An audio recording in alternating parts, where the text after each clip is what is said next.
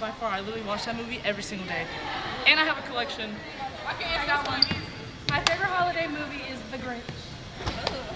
Definitely How the Grinch Stole Christmas for sure. See? No. Home Alone 1, Home Alone 2. No debate. That is so generic. This how he be Definitely the Grinch. He's just so adorable. I love him.